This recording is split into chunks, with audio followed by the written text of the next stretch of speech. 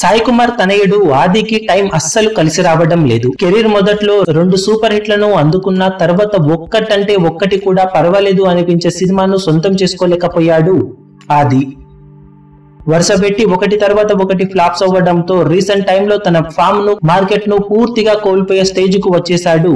ఆది. ఈ ఇయర్లో ఇప్పటికే రెండు సార్లు ప్రేక్షకుల ముందుకు వచ్చాడు ఆది. మొదటిసారి బుర్ర కథతో రాగా ఆ సినిమా వచ్చిన వారానికే పరుగున పూర్తి చేసుకుని డిజాస్టర్గా నిలిచింది. ఇక తర్వాత వెంటనే జోడి అంటూ మరో లవ్ స్టోరీతో వచ్చిన ఆ సినిమా కూడా వచ్చిన విషయం కూడా చాలా తక్కువ మందికే తెలుసు. ఇక బాక్సాఫీస్ దగ్గర డిజాస్టర్ రిజల్ట్ను సొంతం చేసుకోగా ఇప్పుడు లేటెస్ట్గా వినాయకుడు విలేజ్లో వినాయకుడు డైరెక్టర్ సాయి కుమార్ అడవి డైరెక్షన్లో చేసిన ఆపరేషన్ గోల్డ్ ఫిష్తో రీసెంట్గా ప్రేక్షకుల ముందుకు రాగా సినిమా బాక్సాఫీస్ దగ్గర భారీ డిజాస్టర్గా పరుగును పూర్తి చేసుకొని ఈ ఏడాది హ్యాట్రిక్ డిజాస్టర్లతో ఆదికి దక్కేలా చేసింది.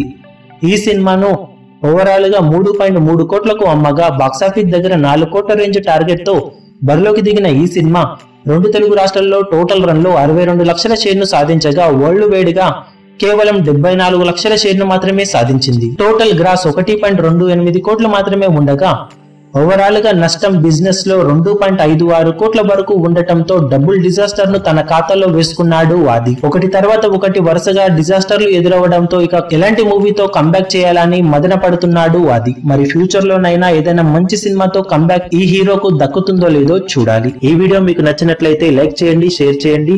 ఛానల్ని సబ్స్క్రైబ్ చేయడం మాత్రం మరవకండి. ఏ చిన్న అప్డేట్ను మిస్ అవ్వకూడదు అనుకుంటే బెల్ ఐకాన్ని ప్రెస్ చేయండి.